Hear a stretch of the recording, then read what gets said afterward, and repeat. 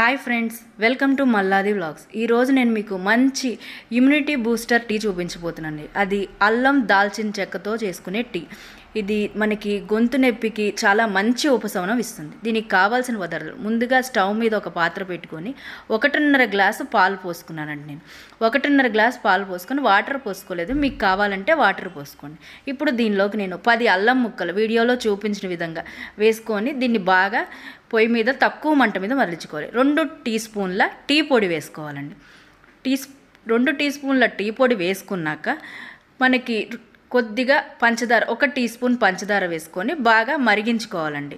ఇది బాగా మరిగాక ఒక పొంగు వస్తుంది మనకి. వీడియోలో చూపించిన విధంగా. ఈ పొంగు వచ్చినప్పుడు మనం దీనిలోకి దాల్చిన చెక్క పీసెస్ ఒక ఐదారు వేసుకోవాలండి.